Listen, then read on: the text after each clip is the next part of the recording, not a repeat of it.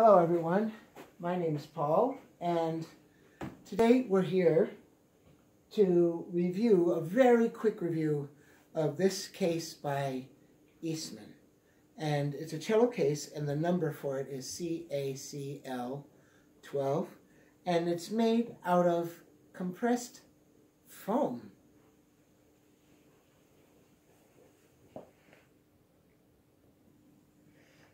So we're here in the music room at my school. I'm a music teacher, elementary music teacher, and I wanted I wanted first to show you the fabric that covers this compressed foam.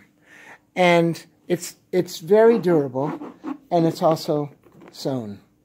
Some people might be asking, why did you choose a hard case that's made out of foam uh, it's a new type of idea. It's between a very hard, rigid case and a bag. Uh, well, it's because it's light. And it does uh, afford a lot of protection. Not rigid protection, but protection from bumps and scrapes. So this case, um, we're going to walk around in a second, walk around it.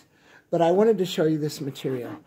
So it's very, very durable and it's sewn in. There's no rivets or, or anything.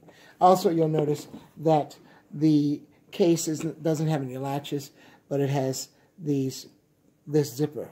And this zipper is very, very tough and durable. So yeah, and it's waterproof. So let's walk around the case.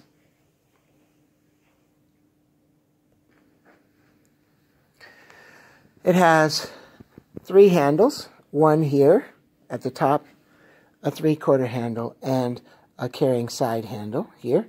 And they're all pretty tough. I mean, that's very hard plastic. Um, this one is like a rubber plastic here. Very tough. Yeah, I trust it. And this one at the top is not really made to hold any weight. But this is just to guide the, pia the uh, piano, the cello, because it has down here wheels. Now the wheels are, yes, the wheels are kind of narrow and, close together, but this is wheels so that you can go around. Also, we have feet on the back of the cello case. One here, and of course these down here act as feet. Here we have the side feet. Um, I, here's a very good look at the zippers. They're very tough, um, very thick and the zipper is very thick and tough as well. This is, I think it's a strengthening piece for the case. It helps stiffen the case up a little bit. Around the front, down here, we have places for the bow area inside the bows, two bows. This area above the bridge, on top of the bridge, is very hard, and so is this neck area, very, very hard and stiff. So I think they've done some extra strengthening in those areas. So that's the case outside with this really tough material here. Very tough material. Okay, now let's go inside. So inside the case, we do have um, a neck rest for the cello, and we have this Velcro strap to strap it in. We don't have a strap on the top up here. We do have an accessory bag, and this, of course, comes out because it has Velcro on it. I'm going to put that to the side. Down at the bottom and around the case, we have this sort of thick, soft material, um, especially down at the bottom. As you can see, there's two big ones here, here, and on that side. Yeah. And also, this part is raised, and down here is raised. All of this is raised from the center back so that uh, there's air between your cello and the back of the case. Here's, here's something that's very interesting. I'm going to sit down here. Here's something that's very interesting. We have the, it's a different type of mechanism that keeps the bows.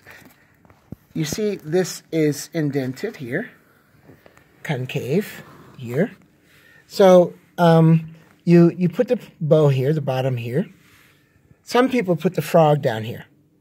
Um, I don't. Sometimes I have, but I usually don't. And then we have this latch here. So we close it.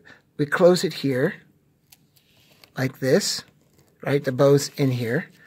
You know, I will. You know? I should actually put the bow in there. And then guess what? We have a top latch that comes down to secure the bow. So it's latched in two different ways here and also here. And this is all Velcro. All right, so I'm going to put a bow in here and let's see what it looks like, okay? So this is what a bow looks like inside the case. Down at the bottom we have our pocket, right? And then we have, this is very, this is interesting. I'll show you what I'm talking about. We have a top latch here, and then we have a side latch here, and this is all Velcro, and this is how the bow comes out. So it's it's secure in two different ways, not just one latch across, but one this way and one this way. Keeping that bow in its right area and not jumping around inside the case and scratching up your wood. So that's that's quite nice. I like that. I like that a lot. Okay, so that's basic. Oh, I forgot to tell you about this tailpiece rest here inside the case. So, um, yeah, I really, I am appreciating this case more and more. I thought when I first got it that it would be too light, but it is turning out to be very strong, very durable, and my cello is happy in here. so, yeah, I like it, and um, let me give you my final ideas about this case uh, right now. So before I leave you and give you those final ideas, I forgot to show you about this lock. It's an interesting system. You put the two zippers into these slots, and then you can lock it. It's, it's a combination. Isn't that strange? Combination lock here.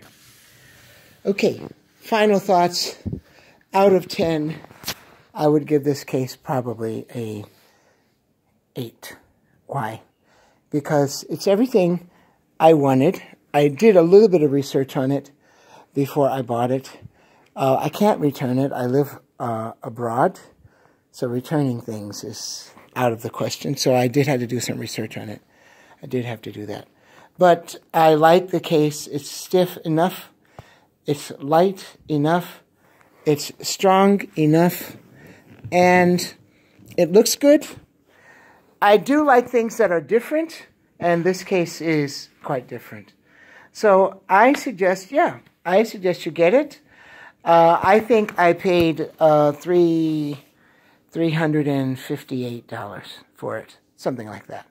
So yeah, this is the case by Eastman called CACL 12.